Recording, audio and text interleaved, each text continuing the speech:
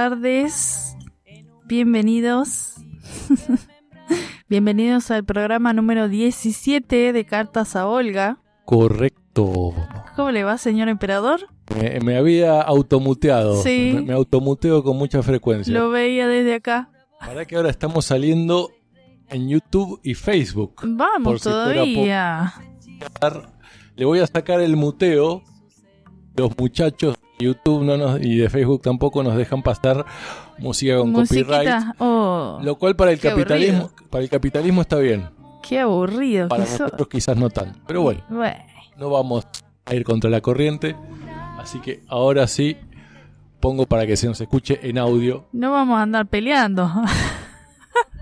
como Don Quijote contra los molinos claro. de viento. Que se queden en silencio y bueno, que hagan lo que puedan con sus pensamientos.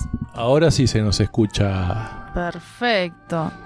Le vamos a bajar un poquito más a la musiquita. Bueno, si quieren comunicarse con nosotros y comentarnos si nos están escuchando bien en YouTube, en Facebook o en la web, pueden hacerlo a 2954 31 25 41. Pueden comunicarse también a Radio BDC 106.9 FM en Instagram o Facebook o entrar a la web que es www.radiobdc.net.ar. Recuerden que los días martes a las 23 horas se repite este programita y lo pueden escuchar por la web o por el dial. Para las les y los trasnochados. Claro, hay muchas veces que sí, que dan ganas de quedarse la noche escuchando algo.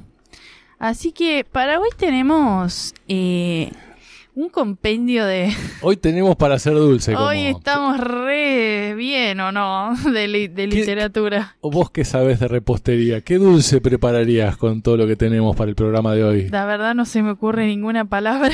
Una compota. O sea, compota está bueno, sí. Porque es un, un compendio, un compilado, compota. Podemos Va por hacer ahí. Una, com- una compota literaria para el día de hoy.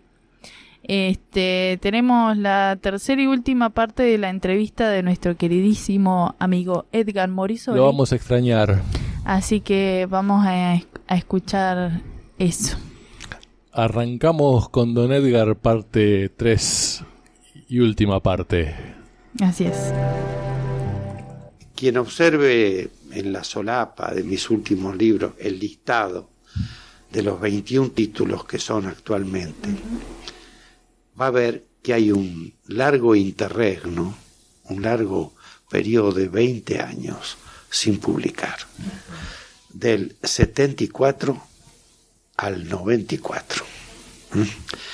Durante 20 años estuve sin, sin editar, fueron años muy difíciles, para mí al menos.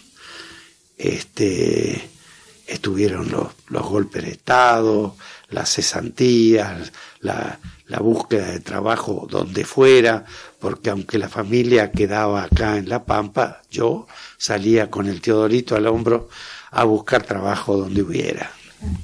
Y, pero no dejé de escribir esos 20 años. De modo que cuando se dieron nuevamente las condiciones, que fue cuando me jubilé, ¿eh? yo me jubilé en el 92 en la provincia, gracias a una ley provincial muy importante que nos reconoció a todos los cesanteados por razones gremiales, políticas o ideológicas los años de trabajo. Y la provincia hizo los aportes patronales. Quedaron a cargo nuestro los aportes que corresponden al empleado. Pero yo de esa forma pude recuperar, ¿saben cuánto? 16 años de cesantías. ¿Mm? Entre los sucesivos golpes de Estado. Este, bueno, ya jubilado, me dediqué a publicar. Y lo primero que publiqué fue un, libro, un volumen que se llama Obra Callada, que reúne seis libros de los escritos durante esos 20 años de silencio, vamos a decir. Este, es un volumen eh, de 400 páginas casi, que en mi casa los chicos lo llamaban el libro gordo de Petete. bueno, después de allí, solamente en un caso, volví a agrupar dos libros en un volumen, este, y así se han ido sucediendo hasta el que presenté hace 15 o 20 días, Porfiada Luz. Mm. ¿Por qué Porfiada Luz, Edgar?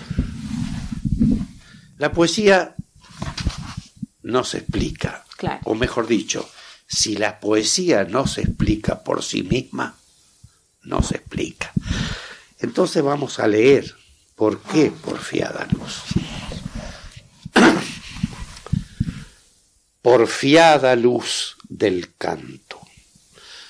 ¿Cuántas veces trataron de apagarla, borrarla, destruirla?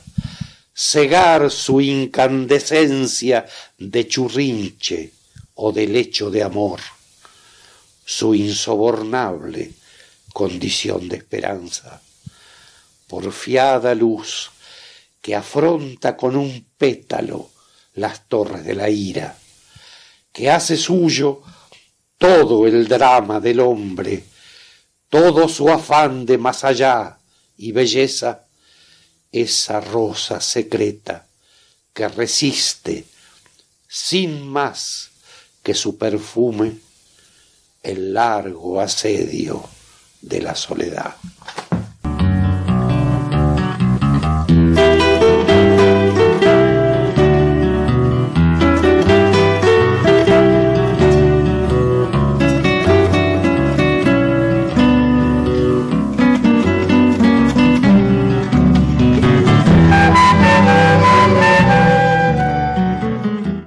Defina la poesía. No, yo no estoy en condiciones de definirla. Está bien. De ninguna manera. La he asediado a lo largo de muchos años, pero ni siquiera pretendo definirla.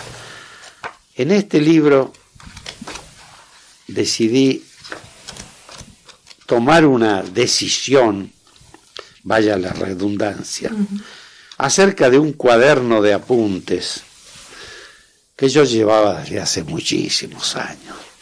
Ahí en el cuaderno de apuntes estaban las cosas que no llegaron a cuajar o los primeros borradores que después se elaboraron para...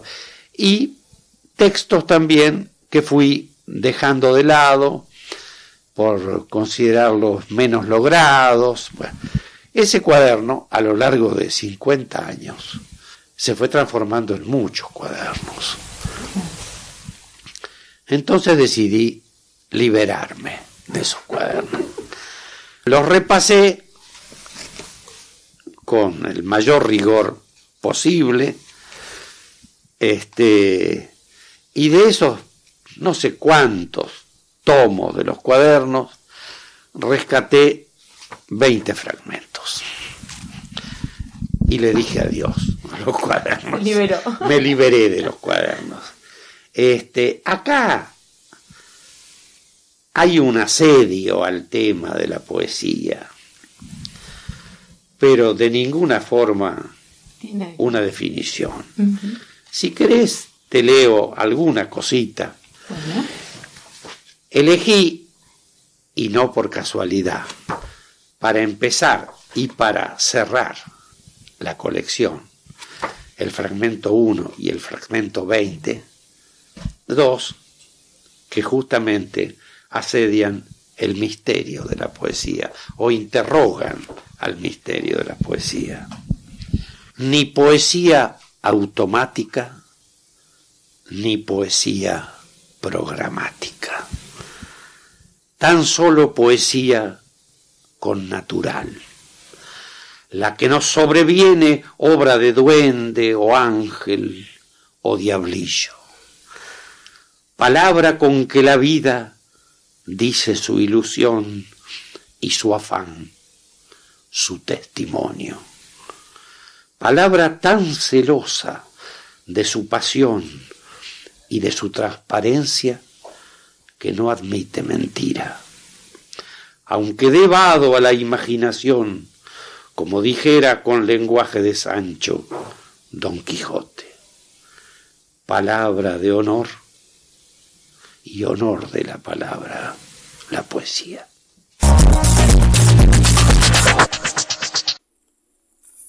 La casa cuyos muros susurraban. A Clara Rebotaro, poeta y amiga fiel, por el acebal de la niñez.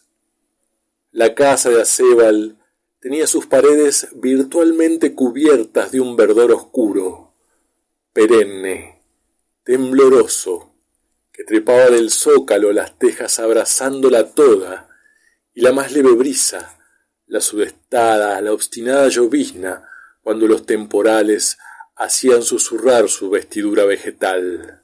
Un susurro quedo, incesante, asordinado, un suave rumor como de oleaje de laguna que se apaga a lo lejos, un trémolo sin fin.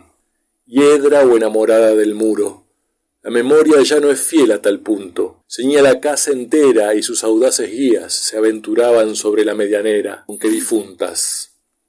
Brígida y Patrocinia Corbalán, las vecinas, seguro lo recuerdan a la hora del mate con cedrón. El follaje musitaba secretos, digitaba en la sombra un largo bordoneo, transmitía mensajes recibidos de la ráfaga libre de los campos o compartidos con las casuarinas. Casa de los abuelos.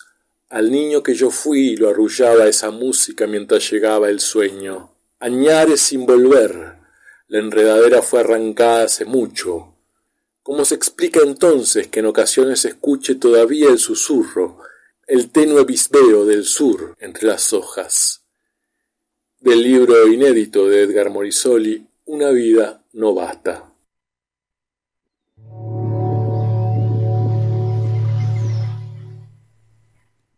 Inexplicablemente. ¿Quién queda de los dos? ¿Quién sobrevive? Persiste en el amor y ve en la altura. Pasar, seguir pasando la indómita bandada en la fiesta del sol. Su rúbrica escarlata al caer la tarde, sus alas nuevas al rayar el día.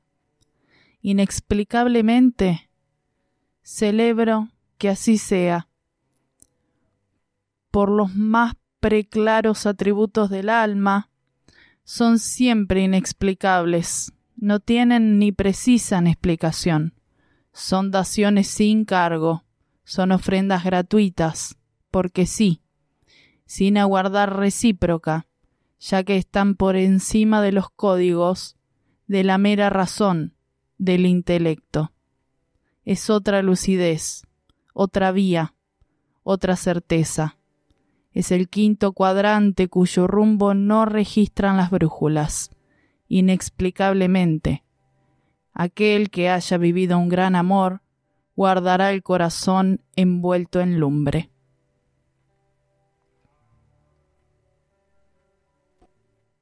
Pa, estamos re reloaded hoy, ¿eh? Edgar Morisoli, te amamos y te amaremos por siempre. Qué intensidad. Qué lindo.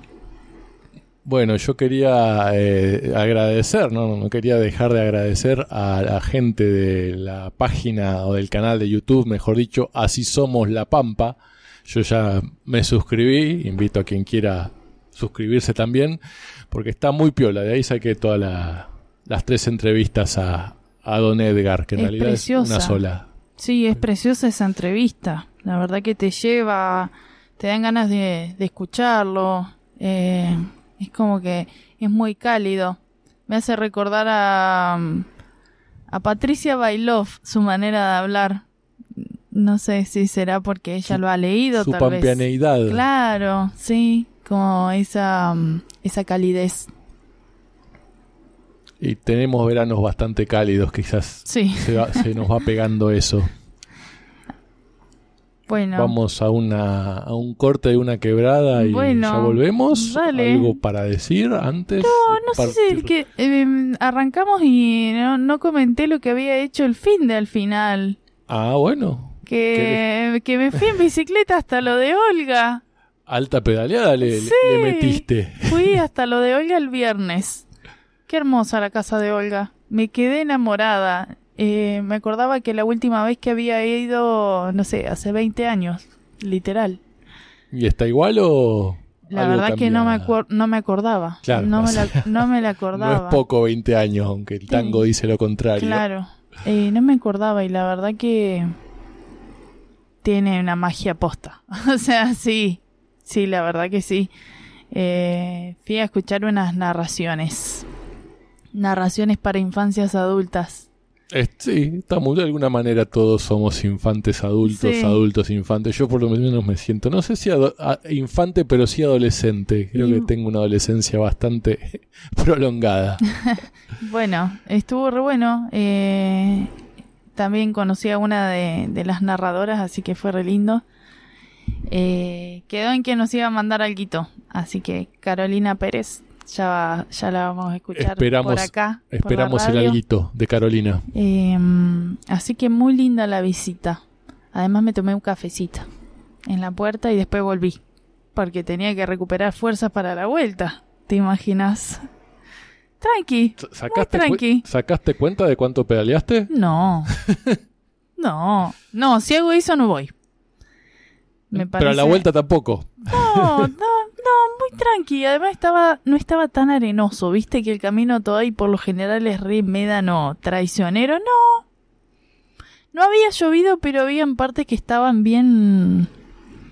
Bueno, yo pedaleo mucho, gente. ¿Que fuiste- Voy y vuelvo a ¿Fuiste todos por una lateral de, la Perón? Siempre por el costado. sí. Claro, sí, no, sí. te imaginas que subir ahí. Y- Pero qué bueno que estaría, levanto el dedo, que hubiese una ciclovía. Sí, de hecho tendrían que ampliar un poco los carriles. Porque para subir es re peligroso. Re Sí. peligroso. Te agarra el último pedacito de la perona subir sí o sí. Te obliga. Y bueno, no, no Sí, es sí, apto hay- para bicicletas. No me quiero meter en el tema tránsito, No, pero da la pero- sensación que hay partes que le faltaría un poco mejor diseño. Estaría re bueno porque no, no se tarda tanto y la verdad que yo siempre ando en, en bici y llegas enseguida. Para el que Sí. disfruta de la pedaleada está muy y, bueno. y para el que tiene o la que tiene aguante, porque hay Sí, que también. desde Santa Rosa Sí. pedaleando. Sí, puede ser, puede ser. Este, así que bueno, y el sábado estuve en el teatro. Fui a ver un tal Cirano de Bergerac. Muy linda la obra, me gustó. ¿Y te enamoraste de Cirano? Estaba para enamorarse del Cirano, sinceramente, porque era un poeta empedernido. Muy elocuente, además, por eso. Hasta la prima de él se enamoraba Me sin, encantó, sin saber me que era encantó. él. Es una reversión eh, más para infancias, eh, pero muy linda, muy linda. Eh, ¿Sigue estando? No. Ya No el- estoy segura. fue el domingo Eh, la forma parte del, de- formaba parte del festivalito de la TTP. No sé. Tal vez sí. Está todo agosto, ¿no? El festivalito. Así que se pueden encontrar con otras obras probablemente. Métanse a chusmear porque había de todo. Bueno, ahora sí vamos a escuchar un temita para el día. Va a haber una publicidad de una chica muy Ah, conocida acá que además de ser escritora eh, cocina muy bien y hace, bueno, sobre todo postres, ¿no? ¿Será una chica, una tal Una tal, Cirana Dulce Avi? ahí vemos. Dulce Avi Pastelería. Madeleines, brownies, donas horneadas, profiteroles rellenos, tortas de cumple y mucho más. Hace tu pedido al 2954 645329 y encontrarnos en Instagram como Dulce Dulce Avi. En la pastelería de Dulce Avi hacemos tus antojitos una realidad con mucho sabor, ingredientes genuinos y la creatividad como elemento principal. Dulce Avi Pastelería, un viaje de ida al universo de la ternura que se deshace en tu paladar. Déjate tentar. Atención personalizada y presupuestos adaptados a tu medida. Dulce Avi Pastelería, nos vemos del lado dulce de la vida. Comunicate por WhatsApp y contanos tu idea. 2954 64 53 29.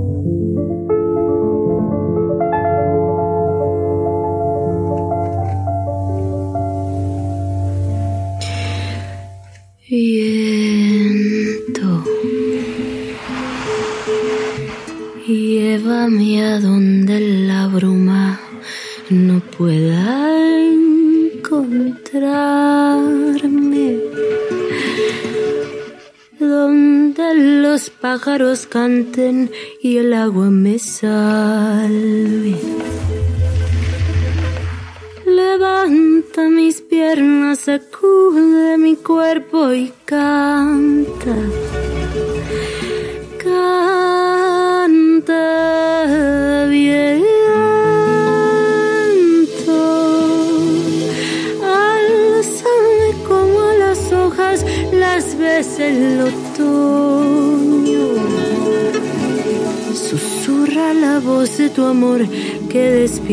muy hondo. Baila conmigo, baila conmigo ligero, ligero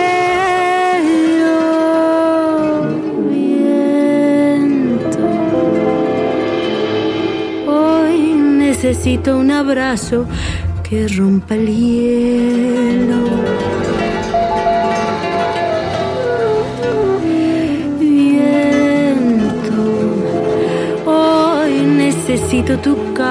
que han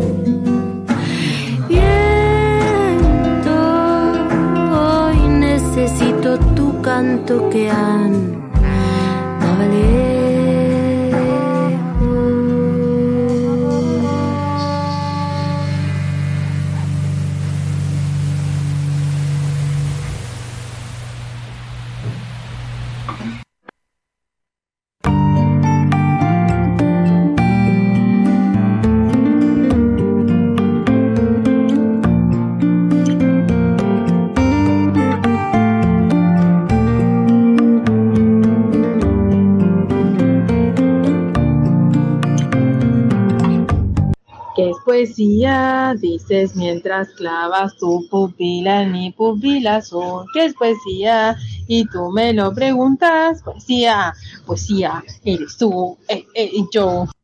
Bueno, bueno. Estamos. El tipo siempre autocensurándose. Estamos en silencio. Ah, Se te hace conocida esa presentación. sí, ¿no? por supuesto. Es la presentación de mi columna, la columna de Avi Viale, presentada por ella misma. ¿Por quién si no? ¿Por quién si no? Tal cual. Bueno, para la columna del día de hoy hay varias cositas. Hay para hacer compotas. Hay para hacer compota. Estaba, me quedé pensando mientras cantaba Natalia Lafourcade. Ah, la- sí, sí. de- de- de- de- ¿Qué tema era? Llévame viento, creo Bien, que era. Sí, sí. Em, en las diferentes frutas. Una compota de diferentes frutas. Parate que estoy buscando acá. Estoy en el teléfono y, y no me llevo muy bien encontrando archivos. No es lo mío, gente. No, aparte son muy chiquitas las pantallas. Sí, son muy chiquitas las letras. Quiero leer una cosita que es de... mm, sobre un libro que se llama Oda a la Tierra, antes de arrancar con otra cosa. Uno que nos recomendó Gaby, ¿no? Sí, Gabriela Ramos, a quien leímos el programa pasado y también leeremos en este. Loa a la Tierra, de Byung-Chul Han, un viaje al jardín. Es... Y estuve chusmeándolo y me gustaron varias cuestiones. Ahí sí que hay para hacer dulce. Uy, es re largo, sí, olvídate. Tiene 182 páginas. Dejemos algo para el otro programa.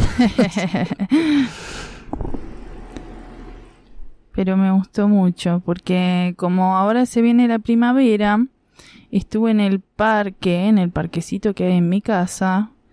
Que ya, ya da señales de verdor, seguramente. Han florecido las margaritas, eh, un, un par de... Los dientes de león, de león, ¿viste cómo están? Es Sí, también. increíble. Así que de acá, azarosamente, voy a elegir uno que se llama El tiempo de lo distinto. En el jardín vivo mucho más intensamente las estaciones. Así de grande es también el sufrimiento en vista del invierno que avecina. La luz se debilita, se vuelve más tenue y más silenta. Jamás había prestado tanta atención a la luz. La luz mortecina me causa dolor. En el jardín, las estaciones se perciben sobre todo corporalmente. La gélida frialdad del agua que sale del bidón que recoge el agua de lluvia penetra profundamente en el cuerpo. Sin embargo, el dolor que siento me causa de ello, a causa de ello es benéfico, incluso reanimador. Me devuelve a la realidad, incluso la corporalidad, que hoy cada vez se pierde más en el mundo digital bien temperado. Este mundo digital no conoce temperatura, dolor ni cuerpo, pero el jardín es rico en sensibilidad y materialidad. Contiene mucho más mundo que la pantalla del ordenador. Desde que trabajo en el jardín percibo el tiempo de manera distinta. Transcurre mucho más lentamente. Se dilata, me parece que falta casi una eternidad para que llegue la próxima primavera. La próxima hojarasca otoñal se distancia hasta una lejanía inconcebible. Incluso el verano me parece infinitamente lejano. El invierno se me hace ya eterno. El trabajo en el jardín invernal lo prolonga. Jamás me resultó tan largo el invierno como en mi primer año de jardinero. Sufrí mucho a causa del frío y la helada persistente, pero no por, por mí, sino sobre todo por las flores de invierno, que mantenían su floración incluso con la nieve y en plena helada persistente. Mi mayor preocupación eran las flores, y por eso les brindaba mi asistencia. El jardín me aleja un paso más de mi ego. No tengo hijos, pero con el jardín voy aprendiendo lentamente qué significa brindar asistencia, preocuparse por otros. El jardín se ha convertido en un lugar de amor. El tiempo del jardín es un tiempo de lo distinto. El jardín tiene su propio tiempo, sobre el que yo no puedo disponer. Cada planta tiene su propio tiempo específico.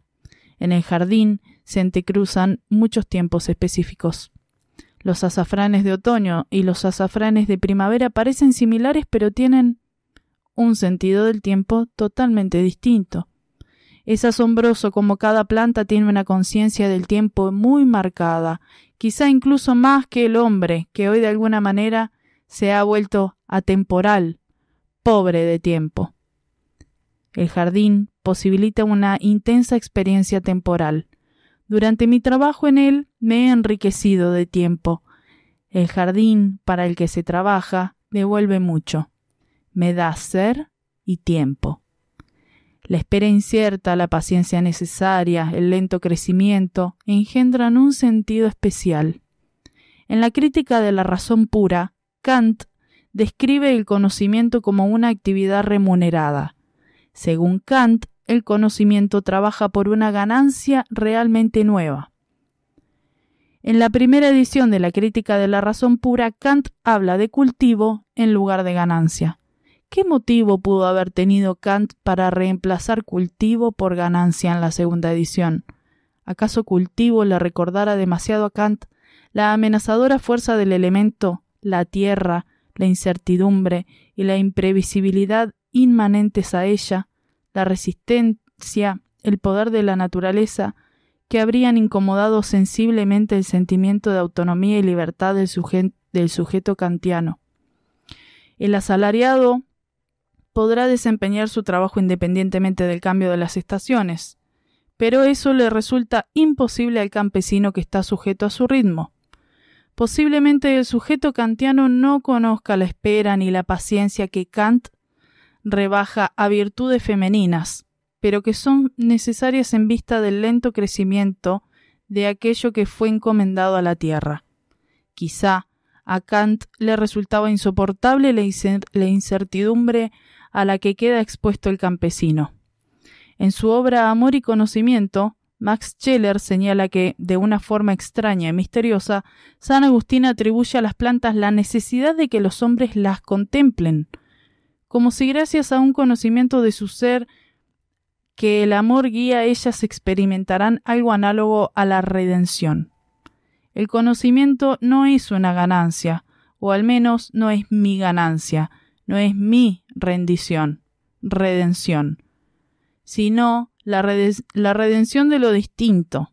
El conocimiento es amor, la mirada amorosa, el conocimiento al que el amor guía redime a la flor de su carencia ontológica. El jardín es, por tanto, un lugar de redención. Con eso quedamos perplejos. Totalmente. Ya lo había leído antes, pero igual me eh, empezaba a entender otras cosas mientras lo leía. Fue re loco. Es, como esas películas que tenés que ver dos, tres Dos veces o para tres veces. encontrarles múltiples significados. Me encantó. Si llegaron a entender como la idea principal, eh, me, me repegó, como quien dice, la, el concepto. Porque, ¡pum! No, aparte cuando está Kant de por medio es algo que seguro va a ser complejo. Sí, re complejo. Pero me pareció re interesante la idea del tiempo, de la tierra, de la presencia, de la asistencia, de otros seres vivos. Como que por ese lado me, me pareció interesante. Y hablando de presencia, ¿qué te parece si yo te cuento? Contame. Ya, ya lo sabés seguramente, que el 15 de agosto de 1999 en ese momento, pero se festeja, se conmemora todos los 15 de agosto, la partida material de nuestra querida Olga. Eh, entonces, entre comentarios que van y vienen, me llegó a ojos vista eh, y a oídos una obra teatral de una chica llamada Ana Datri, santa roseña ella seguramente, pero que la ha tenido que estrenar en, en Buenos Aires esta obra. Ya vamos a desarrollar, si me acompañás leyendo el texto, eh, cómo fue que esta obra intitulada Ceremonia Nocturna eh, tuvo que ser estrenada en Buenos Aires, pero es sobre la vida y obra de, Olga, por supuesto, de nuestra querida Olga. Así que bueno, vamos a leer someramente eh, la experiencia de Ana Datri al, al dirigir esta obra, que si no tengo mal entendido, se va a presentar ahora a partir de, bueno, durante todo agosto. Eh, sin más, empiezo a leer. Olga, siempre Olga. El 15 de agosto de 1999 es 15 de agosto de 1999 y la poeta pampeana Olga Orozco deja el mundo de los vivos en una ceremonia nocturna. Tres sombras disfrazadas de enfermeras y un doctor especialista en desarraigo intentarán regresarla entre juegos y planos desconocidos.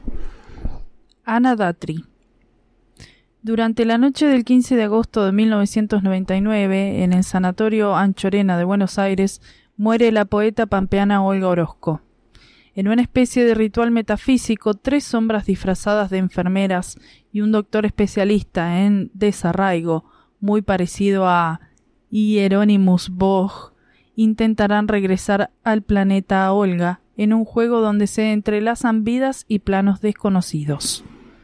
Anoche, se estrenó en el Complejo Teatral Itaca de Buenos Aires, ubicado en Humahuaca 4027 del barrio de Almagro, la obra Ceremonia Nocturna con dramaturgia de Ivana Saraski, perdón, sobre, sobre textos de Olga Orozco y la dirección de la pampeana Silvina Datri.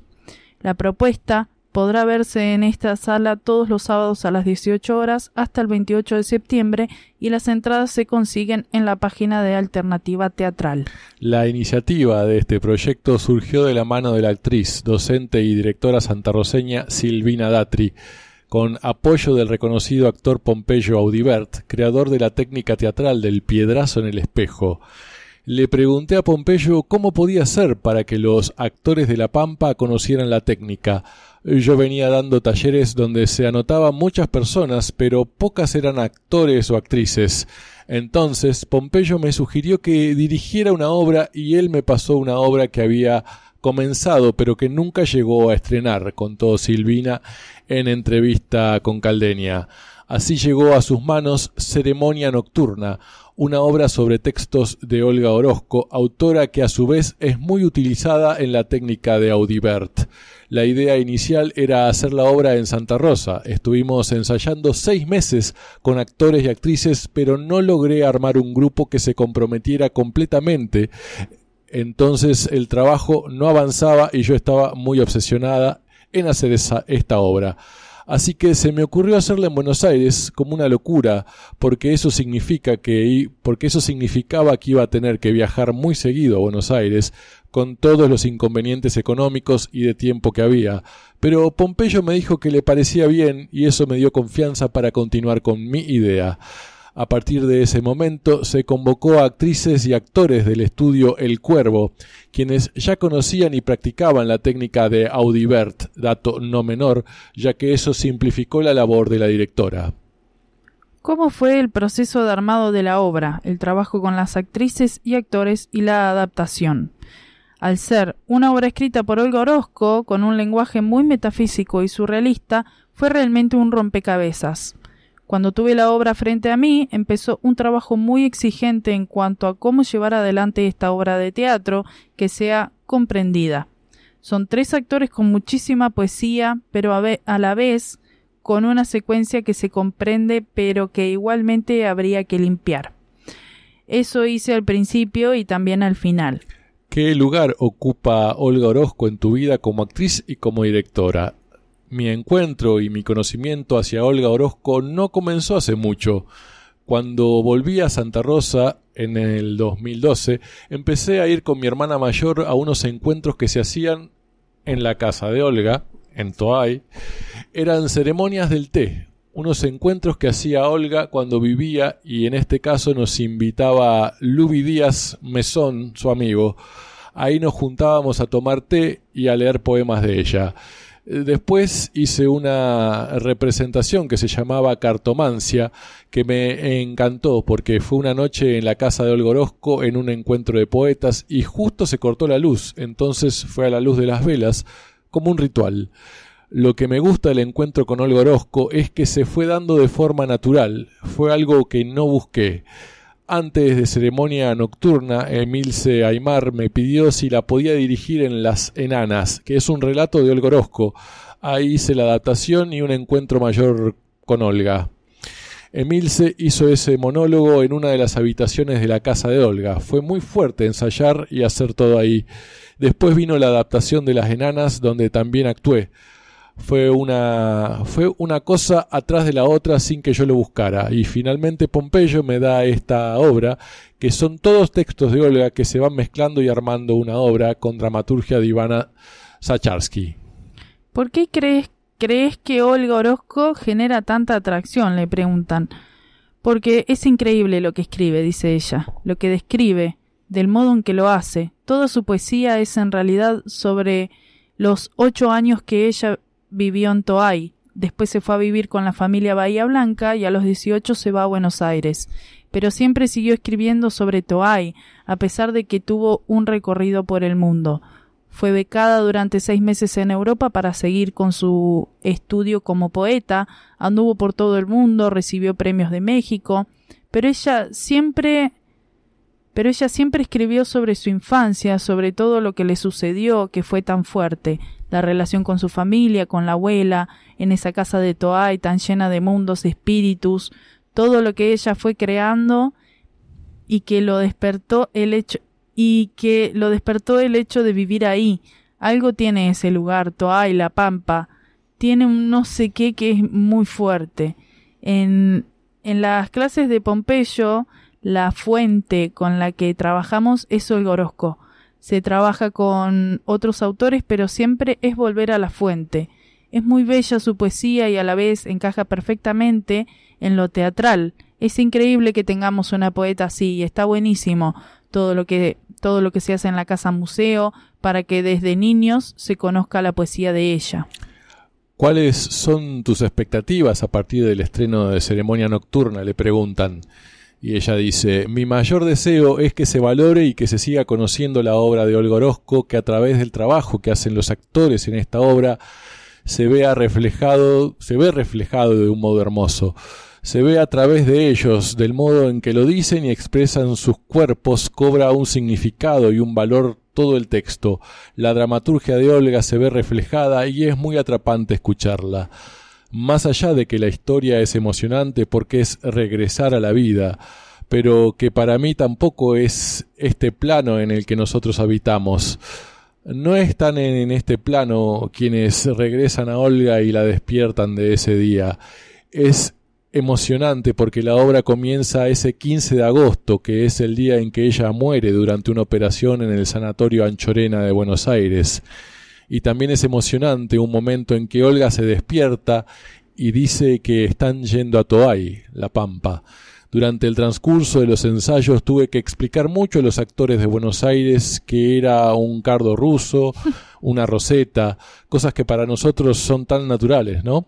La idea es que la gente que vaya valore la poesía de Olga y a través de ella La Pampa, que somos una provincia poco conocida y renombrada. Sinopsis. En el medio, en medio de esa ceremonia nocturna, Olga reclamará haber caído en la trampa de sus pies otra vez, pidiendo a las sombras que no se interpongan entre su noche y el abismo. Nuestra poeta logra salir del cuadro y correr la escena hacia otro lado, rompiendo el vidrio y cayendo grada tras grada a un plano terrenal, de pronto se encuentra en su sala de espera de consultas sentimentales, asistiendo a diferentes mujeres que, desesperadas, buscan respuestas sobre su identidad, el amor y el buen besar. Y Olga dirá Me desprendo del planeta en mi ataúd de hielo, como un resto de amor, como un secreto que se ampara en el polvo en la última escena, en la última escena de la casa que comunica con el cielo, Olga debe regresar para que la eternidad no se interrumpa, porque del otro lado se impacientan. Las sombras se retiran y él también. Son gárgolas ahora. La ceremonia es el viaje, el regreso hacia la casa, la morada, atravesando un puñado de arena, vientos y acechanzas hasta el destino final, Toay la Pampa. Qué increíble, ¿no? El, ¿De el- influjo que tiene Olga sobre nosotros. Impresionante. Yo no, no estaba enterada de esto, gente. Me acabo de enterar. Yo recuerdo que cuando le propuse a Can de hacer este programa originalmente, ella también dijo que de alguna manera sentía el influjo de Olga, como que Olga la, la llamaba. Y creo que cada paso que damos, de alguna manera en este programa, está Olga presente, ¿no? Yo cuando fui a la casa, yo sentía, me voy a lo de Olga, o sea, lo de mi amiga Olga, no, no. Es como. Y, y ahí mismo en la casa te dicen, es que Olga es un viaje. Y venir hasta acá es un viaje. Y tomárselo como eso, como el viaje mismo de, de existir. Me lo, me lo planteaba yo de esa manera. Eh, te lleva a eso, a que vos te metas en ese recorrido, que en este caso es interno, pero bueno, eh, vivir en el planeta Tierra tiene eso de que tenés que ir de un lado al otro. Y no importa el lugar a donde estés, si estás en, eh, en cualquier ciudad o en el campo, donde sea, igual así, estás en el planeta Tierra, o sea, eh, no importa, igual estás conectado. Eso es lo que, lo que me parece impresionante, lo que me despierta Olga, a mí personalmente. Bueno, en base a lo que dijiste, eh, muy acertado me parece que la vida de Olga es un viaje, ¿no? Eh, yo creo que Olga nos invita a viajar. Ese es, ese es el mensaje de Olga, que hay que viajar no solo por el mundo, sino por la vida. Totalmente. Eh, mandamos una pausita para... me parece que sí, ¿no? Quedamos como, uff. Sí. Sí, Eh, sí, que- creo que no puedo leer otra cosa que no sea eso ahora. Si te animás y tenías algo preparado, mande. Y tenía algo de Gaby, pero me parece que, Ah, que no, se merece, eso es del tercer bloque, que eso se es, merece eh, un pro- espacio. Eso es propiedad intelectual del tercer bloque. Se merece un espacio. No, a ver, voy a abrir mi libro que lo estoy por terminar y me da una tristeza. Abra, Pero abra. vi, vi una viñeta de, de Liniers que decía, cuando uno termina un libro no desaparece, se esconde en tu interior. Así que es una tristeza dulce. Queda en la caja de Pandora el inconsciente. Una tristeza dulce. No, quería leer una pequeña frasecita que, que habla del contacto con otros. ¡Qué película! Me encantó. Eh, que dice, con el tiempo, las cosas simples y pequeñas como decir la verdad y, y admitir que hice algo malo y preguntar cómo puedo arreglarlo, empezaron a modificar su actitud respecto de lo que podía llegar a ser. No hay nada místico. Es ser responsable, aprender qué es la integridad, tener carácter, no hacer concesiones es tratar a las personas como quieren ser tratadas y es disciplina. Una disciplina buena, fuerte y dura. No hay golpes suaves, es amor duro y difícil. Que esto, bueno, está en el marco de eh, una parte del libro que se llama Las semillas brotan en lugares oscuros. Y, si bien trata muchos temas de espiritualidad, eh, lo que más refuerza es que ya somos espirituales y que el camino es ser conscientes y tratar de hacer ese nexo entre, eh, lo místico y lo real, que eh, es esto. Bueno, sí, mucha mística, pero no tiene nada de mística, digamos, el trato con otras personas. Pero que ahí suceden los milagros, digamos, en, el, en la comunicación, en el contacto con el otro, en darte cuenta eh, que sí, que podés estar equivocado y que somos, somos todas almas que buscamos despertar y que cada cual tiene su camino. Ahí por ahí nos chocamos, pero bueno, hay que verlo como un accidente y seguir. Eso es. Bueno, ahora sí, tendríamos que ir levantando vuelos rumbo a la pausa porque como dijimos ¿Qué antes, vamos a escuchar? buen punto, vamos a escuchar de Pedro Aznar, no es una pena. Ah, ¿no es una pena? No es una pena, no sé, Pedro sabrá.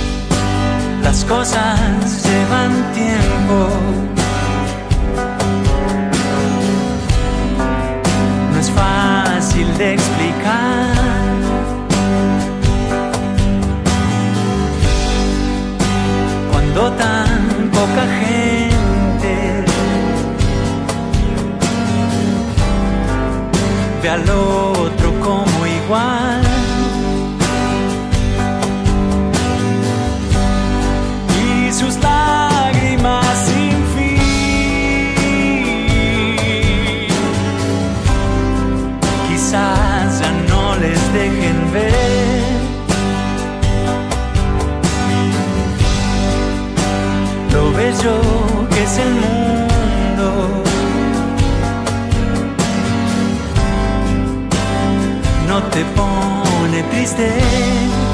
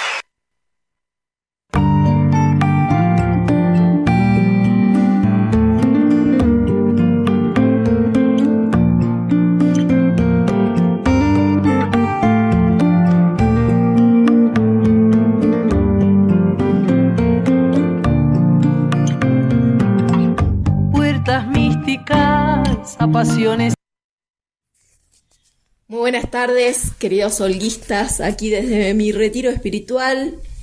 Les habla Candela Almaraz para contarle algunas cositas que estuvieron pasando en el mundo de la literatura esta semana. El viernes pasado se presentó el libro Muerta o Presa, la trama violenta detrás del atentado de Cristina Fernández de Kirchner, escrito por la periodista Irina Hauser, eh, con la colaboración de Ariel Sack. Eh, Irina Hauser estuvo eh, ahí en La Maroma contando de qué se trataba su libro, cómo se había desarrollado la investigación. Eh, para quienes no la conocen, Irina nació en Buenos Aires en 1971, es licenciada en Ciencias de la Comunicación por la UBA, ha trabajado como periodista desde, 1992, eh, muchos medios, Página 12, Caras y Careta, bueno, tiene muchísimas publicaciones en radio, M750, en la mañana de Radio Nacional, bueno, C5N. Eh, ha ganado Martín Fierro por su trabajo. Este, también es docente, fue docente de periodismo especializado en géneros y experiencias 2 en la maestría de periodismo de la UBA. Y también es autora de los libros Los Supremos de 2016 y Rebelión en la Corte de 2019. Ella se especializa justamente en el periodismo judicial. Eh, bueno, y el libro este, un poco cuenta cómo fue, se lo solicita la editorial Planeta cuando ocurre el atentado, un libro que se lo plantean en el mes de mayo de 2023 para ser publicado en julio, o sea que con muy poco tiempo tenía que desarrollar una investigación bastante profunda. Eh, pero bueno, que es como una primera parte de toda esta trama eh, política y policial y diría hasta cinematográfica Em, porque sin duda es un libro que yo creo que debería tener una segunda parte. Lo que dice en su portada eh, señala eh, por el odio generalizado. Ese fue el motivo que esgrimió Fernando Sabac Montiel cuando un periodista le preguntó por qué quiso matar a la vicepresidenta argentina Cristina Fernández de Kirchner en la puerta de su casa en septiembre de 2022. El atacante se infiltró entre los manifestantes que iban a apoyar a su conductora después de que el fiscal Diego Luciani pidiera para ella cárcel por 12 años y la inhabilitación de por vida para ejercer cargos públicos. Eh, recordemos que en ese momento eh, Cristina estaba enfrentando, eh, si no me equivoco, el juicio por la causa vialidad. bueno, dice, el mecanismo fue exactamente el mismo que había imaginado y que describió una charla virtual el joven referente de una organización que tenía como consigna cárcel o bala. La investigación urgente de Irina Hauser reconstruye la trama detrás del ataque fallido y revela cómo ese odio generalizado puede ser inducido intencionalmente. Con gran precisión y maestría narrativa recorre manifestaciones violentas avaladas por relevantes dirigentes políticos y descubre a sus eh, agoreros porque, bueno, justamente Irina contaba en la presentación del libro que eh, les interesaba mucho el análisis de cómo se había llegado, ¿no? A esa situación, cómo se pasa del discurso a la acción violenta. Eh, Muerta o presa es una historia de violencia política, también judicial y mediática, que transcurre ante un sistema que no reaccionó a tiempo. Refleja además los entretenones de la causa penal que ostenta detalles insólitos. Se malogró la prueba fundamental, como el teléfono celular del principal acusado y su novia, señalada como coautora, casi se escapa. En, eh, en esta trama plagada de intrigas aparecen también empresarios y grandes sumas de dinero. ¿Quién estuvo detrás del atentado contra la principal líder política del país? ¿Qué le prometieron al hombre que intentó cometer el magnicidio? Eh, bueno, estos son algunos eh, de los interrogantes que en realidad se generan, se van apareciendo un montón más. Algunos, incluso de los que ya sabemos, mucha más información de la que terminó siendo publicada acá. Por eso digo que amerita una segunda parte. Eh, pero bueno, sin duda un libro bastante interesante y yo creo que es un tema que da para, para una película, básicamente. Em, tiene como un contenido, hasta uno lo podría leer como si estuviera leyendo una novela. Eh, cambiando de tema, por otra parte, en el Colegio Ciudad de Santa Rosa, el día sábado a las 8 de la noche, se registraron movimientos extraños en la institución. Eh, una serie de aficionados a la lectura, eh, de, de de- de- a la lectura en general, ¿no? Porque estamos hablando de un club de lectura eh, que se venía realizando, que si no mal no me equivoco, si no me equivoco, eh, hace ya dos años, los días jueves a las 7 de la tarde. Eh, pero en esta oportunidad, como forma de cierre de una primera parte del club de lectura, eh, se juntaron a leer cuentos de terror con, en, en la escuela, en el Colegio Ciudad de Santa Rosa, de noche, a oscuras, completamente todo a oscuras, con una increíble ambientación de velas eh, y, luces que le daban un aspecto más sombrío a la biblioteca del lugar, con un recorrido previo como para entrar en clima. Eh, muy interesante, muy divertido. Cada uno de los participantes leyó un cuento de terror de distintos autores. Se leyó un fragmento de la obra de Drácula. eh, se leyó El escuerzo de Poeta Lugones. Se leyó a Silvino Campo. Se leyó a Lamberti, que es un escritor cordobés. Se leyó hasta comentarios de YouTube, ¿no? Extracciones, historias, anécdotas eh, terroríficas sacadas de rescatadas de un comentario de YouTube que era fue fantástica. Eh, bueno, no, no recuerdo también eh, muchas, eh, va- varias historias más. eh, en una jornada, bueno, nada, escalofriante y muy agradable. Seguramente este club de lectura se siga eh, llevando a cabo, así que, eh, bueno, nada, estén atentos. Eh, no les puedo, no sé si tiene nombre el grupo, porque en realidad yo fui de invitada. Entré por la ventana casi. Pero este, bueno, seguramente acá en, la radio BDC vamos a tener más información sobre cuándo se va a estar realizando la segunda parte de este taller, que no solo es de cuento de terror, ¿no? Es de, de diferente tipo de lecturas. Y bueno, eso ha sido mi, mi jornada este, de fin de semana. Eh, espero que estén bien y que lean mucho. Un abrazo.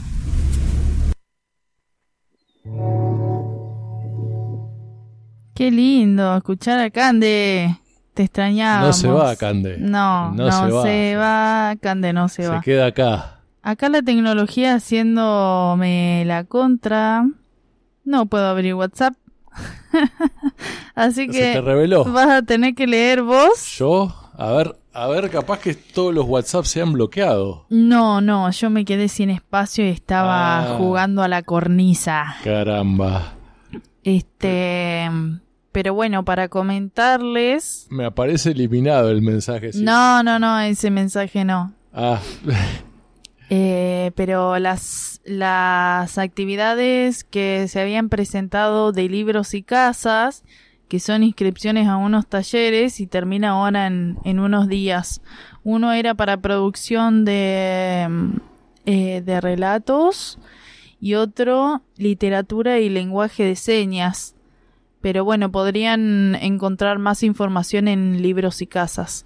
Lo quería comentar porque vi que estaba por cerrar la inscripción. Está bueno porque es con cupo y son propuestas reinteresantes.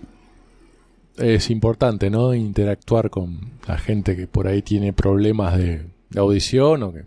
Sí, me pareció muy linda propuesta. ¿Y sabían que tiene libro- libroteca, libroteca online, libros y casas? No. Que por lo general cuando entregaban casitas de barrio te daban una bibliotequita chiquita y unos libros. Bueno, tienen todo eh, como una biblioteca online. También está re bueno eso. Hace falta, hace falta esa clase de iniciativas. Así que Esa es la datita express acá sin respaldo digital. Como me gusta a mí. bien analógico. Entonces, ese nos va a leer una Me toca, cosita. me toca a mí. que- Ah, y si no, podemos hacer un traspaso de energía y vos me tirás el celular Ah, sí, que- ¿querés que y te yo lo leo. Te paso mi celular. Dale, sí, yo Mirá lo qué buena leo. idea. ¿Viste qué buena idea? Ahí va. No, porque está imposible de, solucionarlo ya mismo inmediatamente. Pero no queríamos dejarlo afuera a nuestro a nuestra amiga Gaby que ya viene aquí compartiendo sus cositas. Bueno. El carcaj o aljaba. El carcaj o aljaba con sus dardos, flechas, jabalinas, saetas, ahí, en el escritorio del abogado. Necesitábamos resolver el problema, o mejor, el trámite del divorcio. Por mucho tiempo, Lucía había estado demasiado ocupada con sus textos y yo había pasado a ser un fantasma. Alguien que acompañaba, como un programa de radio o una música desde el tocadiscos del living. Ella me quería, yo lo sé, pero de una forma con la que a mi persona no le resultaba satisfactoria. El abogado se había sentado en su sillón mamotreto después de una espera de hora, hora y media en el hall. Para Lucía, el carcaj funcionaba como punto de apoyo, y para mí era otra vez otra cosa que me distanciaba de ella. El abogado parecía un busto, de cara rígida, gris, con unos puntitos en la piel que la oscurecían aún más.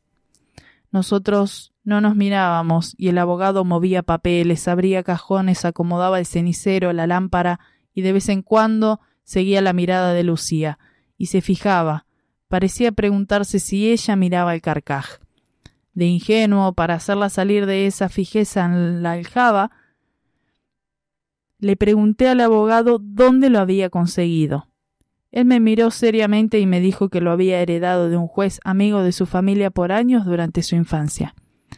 Por primera vez, Lucía giró su cabeza hacia mí con unos ojos de- desconcertados, casi fantasmales, y a mí me agarró una angustia tan grande que casi no pude retener las lágrimas. Me pareció demasiado, pero ella, de pecho frío, le preguntó al abogado si podía agarrar el carcaj para ver las saetas. Él se negó. Al carcaj no lo tocaba más que la mucama para pasarle el plumero. Ella, entonces, desilusionada, se acomodó mejor en la silla de cuero y le dijo Procedamos. Yo vi la pata de la mesa escritorio con sus decoraciones curvas y sentí terror. Algo me impulsó a pararme, a agarrar el carcaj de la pared y decirle a ella Es un carcaj, nada más que un carcaj. ¿Qué tiene el carcaj de importancia, Lucía? Ella, helada, me miró desconcertada, otra vez frente a mis ojos, que era yo, su marido. Sí, mis ojos, mi nariz enorme, mis bigotes, mi pequeña boca. Soy yo, tu marido, tu esposo. Pero ella no dejó de voltear otra vez la cabeza para ver a ese objeto espantoso, mortuorio. El abogado tosió, volvió a poner en orden los objetos del escritorio, luego se levantó, tomó con muchísimo cuidado el carcaj, abrió un cajón y lo guardó. Lucía bajó la cabeza por unos in- instantes, luego la levantó y me dijo Soy de las personas que no necesitan más que a mí mismas, que a sí mismas. No insistas. Hagamos lo que hay que hacer lo más rápido posible. Entonces me quedé con la mirada fija en el cajón. Se firmaron los papeles, nos despedimos de forma prudente y discreta. El abogado nos deseó suerte.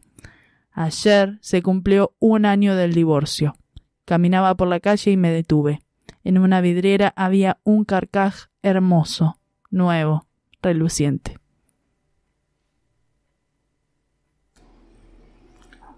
Bueno, solo resta agradecerle una vez más a, a Gabriela Ramos por su brillante narrativa, a Cande que nos mandó su reseña muy bien lograda para mi gusto sobre el contexto del atentado a Cristina y el libro escrito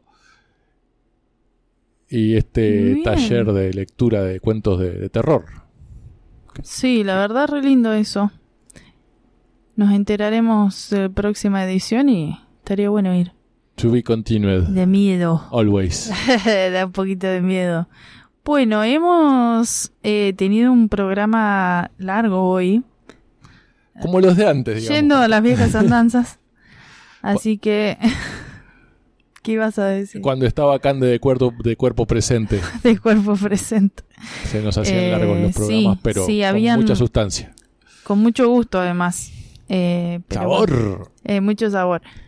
Gracias por habernos acompañado en esta edición literaria. Eh, En este viaje holguístico. en este viaje holístico, que es una un juego de palabras porque podría ser holístico también. También, sí. Claro que sí. Sin faltar el respeto, por supuesto. No, no. Que le queremos mucho a Olga. Nunca sería esa la intención. No, claro que no. Eh, y bueno, ¿Con qué tema nos vamos? Nos vamos Tú a ir con un tema más, más piola, ¿no? Más, más, no sé, The no Tiger, puedo ver. The Tiger Mood. ah, no puedo ver. La semilla. Mira, la semilla. Bueno, Así que bueno, acá los dejamos con la semilla. Esto ha sido todo Re- solo por hoy. solo por hoy. Perdón por, por tan poco. Gracias por No, tanto. contrario. Eh, bueno, gente, que tengan una excelente semana y que la lectura siempre esté de su lado. Me sacaste las letras de la boca. Adiós.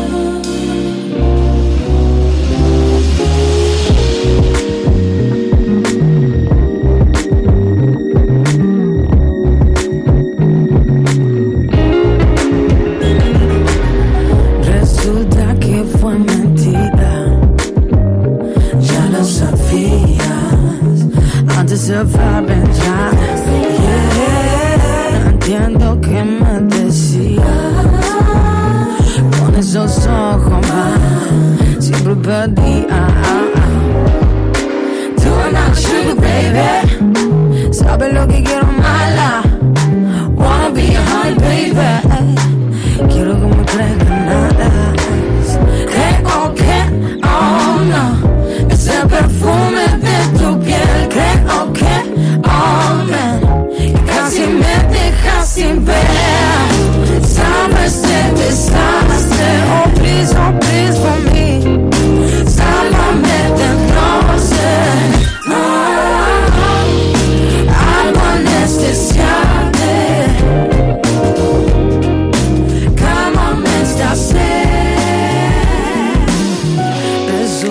Que fue mentira.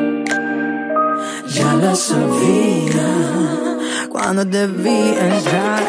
Yeah, entiendo qué me decías, pero te llegar y comencé a acordar. Tú no sugar, baby. Sabes lo que quiero mala. Wanna be on baby.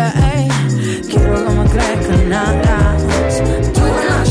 Baby. Sabes lo que quiero mala. Wanna be honey, baby.